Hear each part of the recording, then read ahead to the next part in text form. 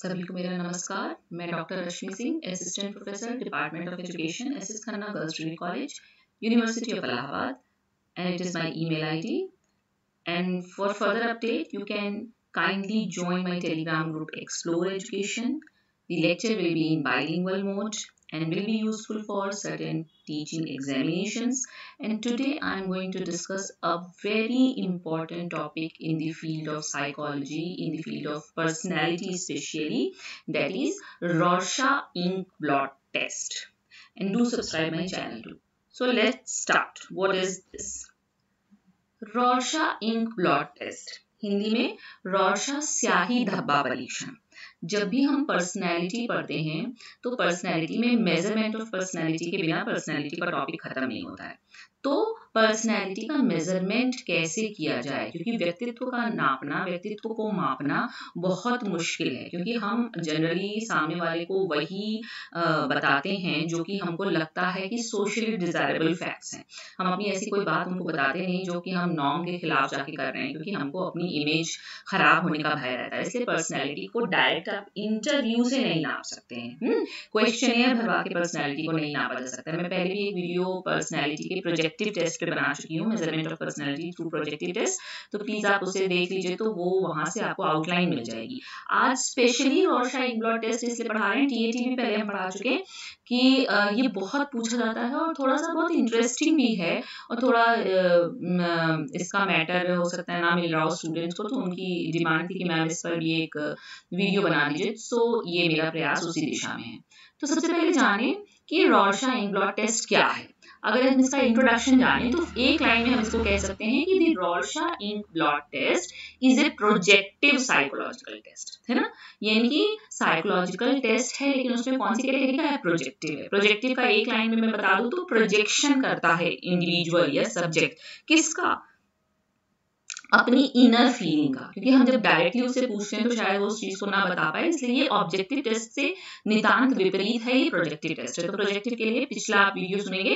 Consisting of ten bilaterally symmetrical ink blots कितने इसमें हमको इंक प्लॉट में कितने हमको इसके कार्ड मिलते हैं तो हमको दस मिलते हैं।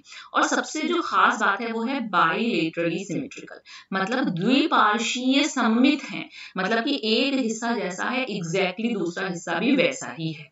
देन प्रिंटेड ऑन कार्ड्स ये कार्ड से प्रिंटेड होता है of which some are black और grey and others could contain applications of colour यानी कि कुछ आपके स्लेटी कलर के, काले कलर के आपको दिखेंगे और कुछ कलरफुल हैं।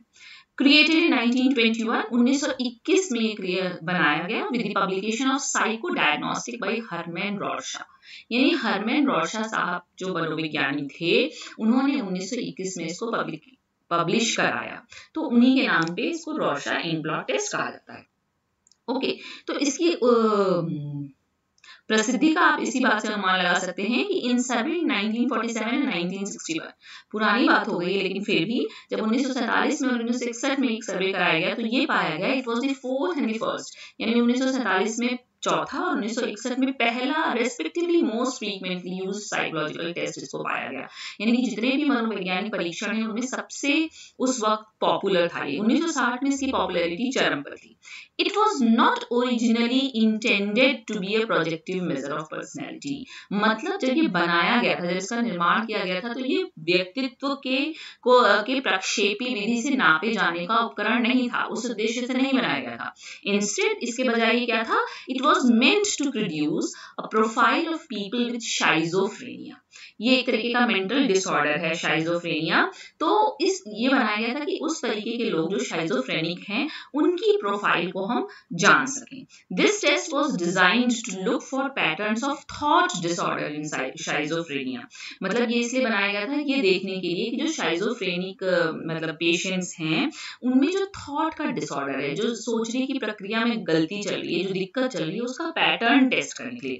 And has evolve to include other areas like personality emotional disorders and intelligence और इसने अपने कुछ और एरियाज़ को अपने अंदर समाहित कर लिया, जिसमें कि आपका व्यक्तित्व है, आपका सामवेगिक डिसऑर्डर है और बुद्धि है। हम्म। यानी कि mainly projective measure of personality के लिए था, लेकिन आज इसको हम प्रोजेक्टिव मेजर ऑफ़ पर्सनालिटी के लिए ही यूज़ करते हैं। And it attained peak popularity in the 1960s when it was used to assess cognition and personality and to diagnose certain psychological conditions. तो 1960 में इसका जो प्रसिद्धि थी वो चरम पर थी और तब ये और यूज़ किस लिए किया गया कॉग्निशन नापने के लिए पर्सनैलिटी और कुछ सर्टेन साइकोलॉजिकल कंडीशन को नापने के लिए बहुत प्रमुखता से यूज़ किया जाने लगा। तो ये तो इसका इंट्रोडक्शन है। तो कुछ खास बातें हारमैन रोशा साहब ने बनाया है। दस बायोलेटरली सिमेट्रिकल इसमें कार्ड्स हैं और 1921 में बनाया है। हम्म। और मेनली प्रोजेक्टिव टेस्ट के लिए नहीं बनाया गया था। मेनली शाइजोफ्रेनिया के लिए बनाया था, लेकिन अब इसको हम प्रोजेक्टिव टेस्ट ऑफ़ पर्सनैलिटी के लिए ज़्यादा यूज़ करते हैं। देन हिस्ट्री अगर हम इसका इतिहास जानना चाहें, कहाँ से आया, कैसे उत्पत्ति हुई, उद्भव कैसे हुआ इसका तो जो हरमैन रोशा साहब थे, वो बचपन से ही एक गेम में बहुत इंटरेस्टेड थे। From childhood, Herman was interested in a game called Klexography. बहुत ज़्यादा वो क्लेक्सोग्राफी बहुत उनका पसंदीदा खेल था which involve creating ink blots and creating stories और पोएम्स अबाउट इट जिसमें यही था कि हमको स्याही से हमको कुछ बनाना है और उसके बाद उस पर कहानी लिखनी है कविता लिखनी है। इतने ज़्यादा वो इस खेल को पसंद करते थे कि उनके पीयर ग्रुप उनका दोस्त जो उनका फ्रेंड सर्कल था उनको क्लेक के नाम से ही बुलाने लगा था। Then inspired by his favourite game and it studies of Sigmund Freud's dream symbolism मतलब एक तो उनको ये गेम बहुत पसंद था और फिर उन्होंने सिगमंड फ्राइड की ड्रीम सिंबोलिज्म पढ़ी। फिर उन्होंने क्या तय किया? Hermann Rorschach developed a systematic approach to using ink blots as an assessment tool to evaluate cognition and personality and to diagnose certain psychological conditions including schizophrenia मतलब वो चूँकि ये गेम को पहले से बचपन से खेलते थे। फिर उन्होंने सिगमंड फ्राइड की ड्रीम सिंबोलिज्म को पढ़ा।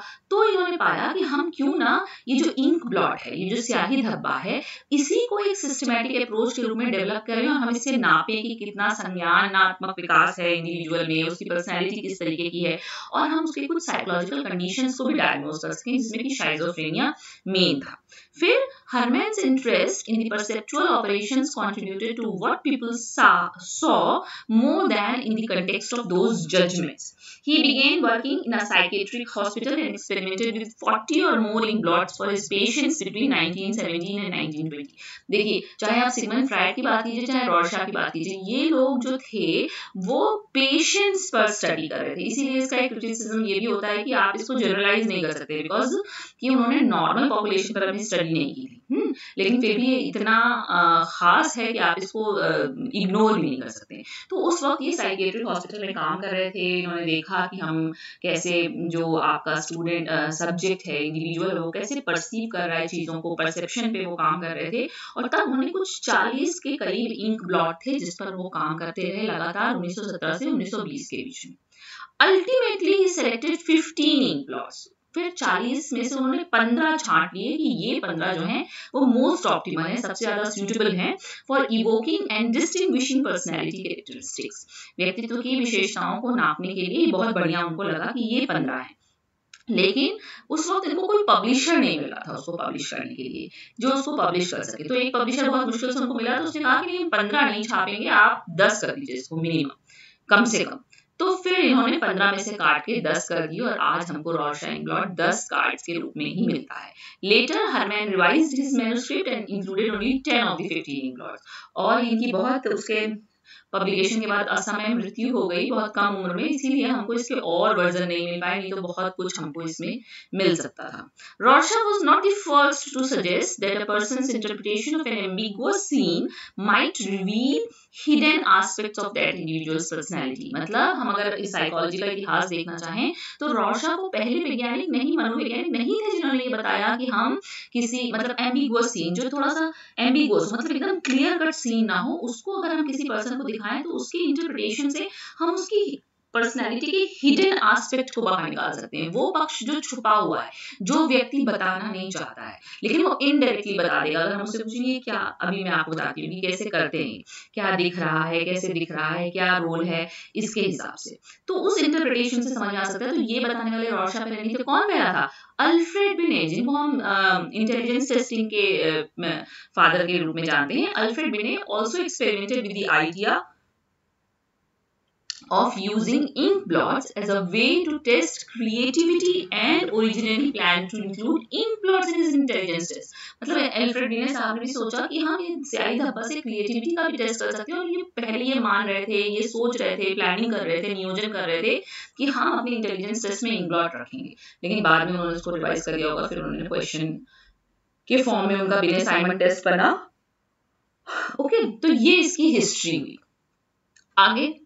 ये देखिए, ये वो दस कार्ड हैं जो कि दिखाए जाते हैं सब्जेक्ट को उससे पूछा जाता है कि आपको इसमें क्या लिखा है। तो इन्होंने पॉपुलर रेस्पॉन्सेज भी इसमें आपको बता दिए हैं कि अगर कार्ड वन शो किया जाएगा तो पॉपुलर रिस्पॉन्स इसका है कि बटरफ्लाई या मॉथ तो जो पॉपुलर रिस्पॉन्स शो करेगा, उसका इंटरप्रिटेशन मुश्किल नहीं है। लेकिन जो इसमें कुछ ऐसा बताया, जो आज तक किसी ने नहीं बताया, बहुत कम लोगों ने बताया तो उसके इंटरप्रिटेशन में दिक्कत है। रॉशाइन ब्लॉट टेस्ट का interpretation is the toughest one okay then card two इसका ये देखिए, पूछा जाएगा क्या दिख रहा है।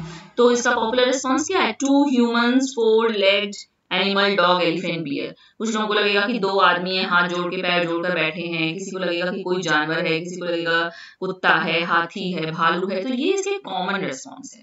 Then card three popular response इसका क्या है? टू ह्यूमंस ह्यूमन फिगर ऐसा लग रहा है कि जैसे दो आदमी है, कुछ बजा रहे हैं। मतलब हमको लग रहा है, आपको कुछ और लग सकता है। और इसके परसेप्शन के इतने तरीके हैं कि कोई जो इंडिविजुअल वो व्हाइट पोर्शन परसीव कर रहा है, कि ब्लैक परसीव कर रहा है, कि उसके बीच का परसीव कर रहा है, कि शेड परसीव कर रहा है कलर परसीव कर रहा है।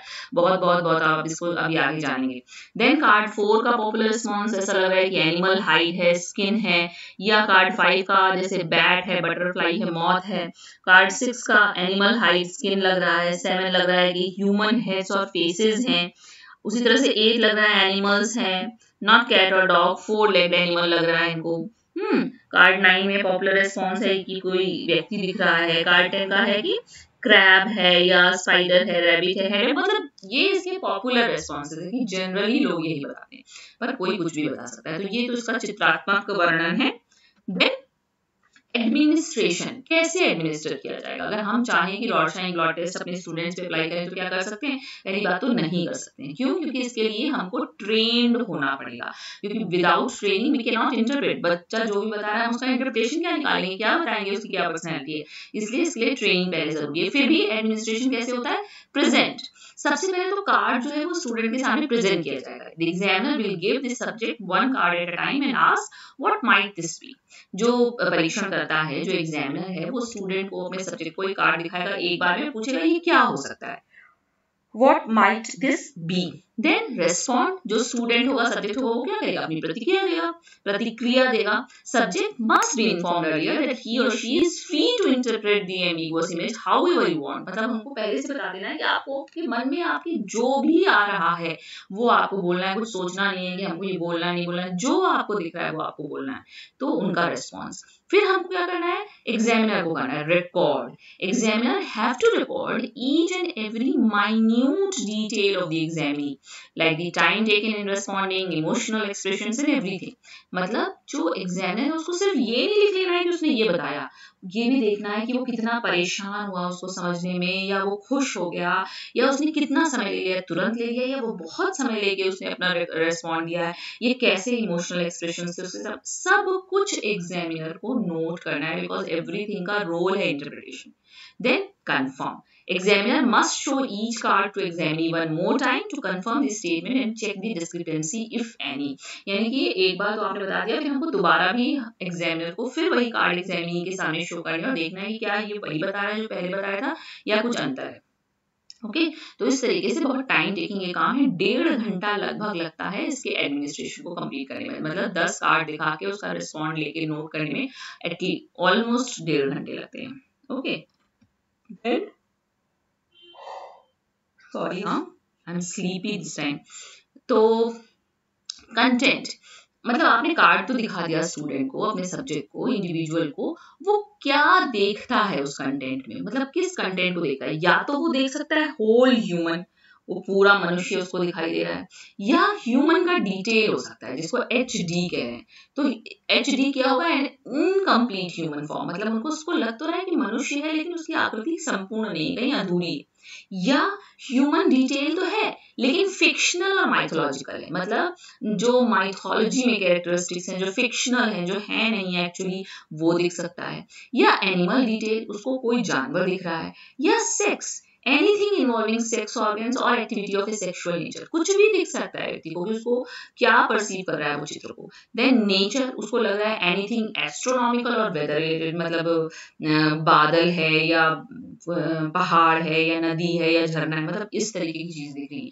तो इतनी कैटेगरीज बनाई गई हैं कि इतनी कैटेगरी में जनरली आंसर करता है सब्जेक्ट कि उसको होल ह्यूमन दिख रहा है, कि ह्यूमन इनकम्प्लीट फॉर्म में दिख रहा है, कि माइथोलॉजिकल ह्यूमन दिख रहा है, कि एनिमल दिख रहा है, कि सेक्स नेचर दिख रहा है। या नेचर दिख रहा है। ओके देन लोकेशन लोकेशन मतलब कि वो किस चीज़ पर लोकेट करके बता रहा है कि उसको दिख क्या रहा है actually the location refers to how much of the ink blot the patient used to depict an image जैसे कि आप पिछला देखिए जहाँ पे उसका चित्र है जैसे वो क्या देख रहा है? ये भी तो हो सकता है ना कोई इस ब्लैक पोर्शन को परसीव कर रहा हो। कोई ये बीच वाला व्हाइट पोर्शन ही परसीव कर रहा हो, कोई ये सब ना छोड़ के वो परसीव कर रहा हो जो आकृति यहाँ छूट जाने से बाहर बन रही है, या इसके बीच का मतलब anything it can be okay ये W means the whole ink blot was use to depict the image यानी कि जो विषय है, उसने जो उसकी इमेज बनाई है उसमें उसने क्या किया, पूरे इंक ब्लॉट को ले लिया है। तब वो क्या देख रहा है? या क्या हो सकता है? D commonly describe part of the blot was used यानी कि इतनी बार ये परीक्षण कराया जा चुका है उसका रिकॉर्ड सारा मेंटेन है तो तभी तो पता चला ना कि ये कॉमनली रिस्पॉन्स है। तो या तो उसने उस पोर्शन को परसीव किया जिसको जनरली लोग परसीव करते हैं। या D D uncommonly describe part यानी कि किसी ब्लॉट पे किसी ने वो जवाब दिए जो कभी किसी ने दिया ही नहीं। या बहुत कम लोगों ने दिया रेयरली कोई देता है। तो अनकॉमनली डिस्क्राइब पोर्शन को वो लोकेशन ले ले रहा है। या S the white space in the background was used यानी कि चित्र से उसको मतलब ही नहीं है जो सफ़ेद चित्र, सफ़ेद जगह स्पेस बच गई है उस काले चित्र के बाद, उसको अगर इंडिविजुअल परसीव कर रहा है तो एस तो इतनी तरीके से तो हम लोकेट करते हैं, यानी स्टूडेंट लोकेट कर सकता है कि इंक ब्लॉट को किस इमेज के रूप में वो ले रहा है। होल ले रहा है या कॉमनली डिस्क्राइब ले रहा है या अनकॉमनली डिस्क्राइब ले रहा है या लेफ़्ट वाइट स्पेस रहा है ओके देन डिटर्मिनेंट ये निर्धारक निर्णायक तत्व कौन कौन से हैं one of the most complex aspects of scoring Rorschach test there are five oh five था स्पेलिंग मिस्टेक हुए बिना कंप्लीट नहीं होता ये देखो फाइव था गलती हुई there are five identified yet broad categories of ink blot determinants that the patient could be responding to यानी कि किस तरीके से बता सकता है देखो पेशेंट तुम्हारा या तो वो फॉर्म देख रहा है कि उसका स्वरूप क्या है, जो चित्र है। या मूवमेंट किस तरफ़ चल रहा है, इधर घट घट रहा है, इधर बढ़ रहा है, उसका कोई मूवमेंट भी हो रहा है क्या उसमें? या कलर पे हम ध्यान दे रहे हैं। कलर में भी क्रोमेटिक पे ध्यान दे रहे हैं क्रोमेटिक पे ध्यान दे रहे हैं, यानी कलरफुल वाले पोर्शन पे या जो ब्लैक एंड व्हाइट है। या शेडिंग का भी रोल है परसेप्शन में। हम टेक्सचर पे ध्यान दे रहे हैं कि डायमेंशन पे ध्यान दे रहे हैं कि डिफ्यूजन पे ध्यान दे रहे हैं। या हमने पेयर है ना बाईलेटरल सिमेट्रिकल है ना तो पेयर पे ध्यान दे रहे हैं या जो उसकी छाया बन रही है रिफ्लेक्शन पे ध्यान दे रहे हैं मतलब एनीथिंग इट कैन बी इसीलिए इसकी जो स्कोरिंग है, इसका जो इंटरप्रिटेशन है, वो बहुत मुश्किल है कि व्यक्ति ने उसको कैसे परसीव किया और हम कैसे बढ़िया से बढ़िया सटीक इंटरप्रिटेशन करके बता सकें कि आपकी पर्सनैलिटी कैसी है। क्रिटिसिज्म बहुत बढ़िया है, बहुत यूनिक है और अगर मतलब इट इज़ सो एक्साइटिंग कि हम कहें कि हम पे रोशन ब्लॉट टेस्ट अप्लाई कीजिए और बताइए हमारी पर्सनैलिटी कैसी है, क्योंकि हम अपने बारे में जानना चाहते हैं ना जनरली हम अपने बारे में ही नहीं जानते। पर्सनैलिटी के बारे में जनरली आईक्यू का तो आइडिया लग जाता है हम थोड़ा सा। तो लेकिन इसकी क्रिटिसिज्म भी है। बहुत आलोचना भी इसकी होती है। क्यों? सबसे पहली बात तो इसका मल्टीपल स्कोरिंग सिस्टम मतलब स्कोरिंग इजी होनी चाहिए। टेस्ट ऐसा हो कि आप अप्लाई करें और आपको रिज़ल्ट मिल जाए, सटीक मिल जाए और कोई भी उस रिज़ल्ट को निकाल सके मतलब इजीली निकाल सके। लेकिन यहाँ तो पूरी ट्रेनिंग कोर्सेज चलते हैं to interpret Rorschach blot तो मल्टीपल स्कोरिंग सिस्टम इसका था। कब? बिफोर 1970 1970 से पहले there were as many five scoring system यानी कि पाँच प्रकार की प्रणाली चल रही थी कि स्कोरिंग कैसे की जाएगी। That differed so dramatically that they essentially referred five different versions of the test और वो सब एक दूसरे से इतने अलग थे, ये ऐसा लगता था कि इस टेस्ट के पाँच वर्जन हैं। लेकिन इन 1974 1974 में John Exner published a comprehensive new scoring system that combined the strongest elements of the earlier systems यानी कि ये जो पाँच तरीके की स्कोरिंग सिस्टम चल रही थी, उसमें सबके जो स्ट्रॉन्गेस्ट एलिमेंट थे, उसको लेते हुए 1974 में जॉन एक्सनर एक कॉम्प्रिहेंसिव न्यू स्कोरिंग सिस्टम बनाते हैं, जो अब स्टैंडर्डाइज्ड मानी जाती है और वही यूज़ होती है। The Exner scoring system is now the standard approach used in the administration scoring and interpretation of the Rorschach test इसके अलावा क्या दिक्कत है? लैक्स रिलायबिलिटी विश्वसनीयता नहीं है इसमें। आज हम किसी चित्र को देखकर विश्वसनीयता होता क्या है? कंसिस्टेंसी इन स्कोर्स यानी कंसिस्टेंसी इन माय रिस्पांस लेकिन आज मैं अच्छे मूड में हूँ, किसी चित्र में मुझे कुछ अच्छी चीज़ दिख जाएगी। अगली बार जब आप मेरे सामने लाएँगे, आप अपने अपने स्टूडेंट के सामने जाएँगे तो वो किसी और मूड में होगा, वो किसी और तरीके से परसीव करेगा। मतलब आप बिल्कुल भी नहीं कह सकते हैं कि आज आप पे ये टेस्ट अप्लाई किया गया, आपकी पर्सनैलिटी आ रही है तो अगली बार किस तरीके की आएगी? You can't hmm then poor validity to सिर्फ़ पर्सनैलिटी थोड़ी बता रहा है। ये आपकी क्रिएटिविटी भी थोड़ा बता रहा है, ये आपका, जैसे आपने ऐसी चीज़ बता दी जिस, जो कभी किसी ने नहीं बताई है तो ये एक तरीके से नॉवल हो गया ना तो क्रिएटिविटी भी है, कहीं थोड़ा सा इंटेलिजेंस भी है, इसलिए इसकी वैलिडिटी भी पुअर है।